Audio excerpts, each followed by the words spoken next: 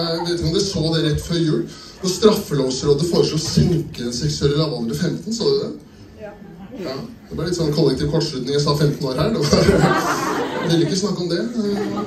Men det jeg lurer på, da, er hvem var han som foreslo det?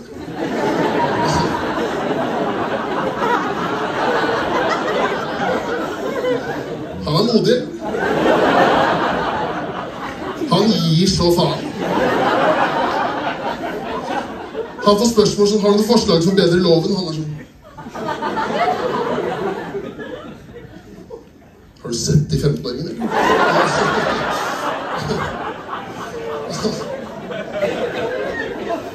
Når du er 15 år, så går du 9. klasse. ikke sant? Det er sånn Faen, du er for dum for brøk, men sikker på at du får til reverse cowgirl. da. Altså, det er helt jævlig. Espen, hvordan går det med 15 år gamle sønnen din? Nei, faen, han strøk jo på nasjonale matteprøvene, men han er jo gjerne på fire, da, så det er eh, Det er muligheter. Det er det. Det er, eh, det er det. Og et av argumentene brukte for at de skulle senke den seksuelle alderen, det var at det skulle bli lettere for unge mennesker å utforske sin egen seksualitet.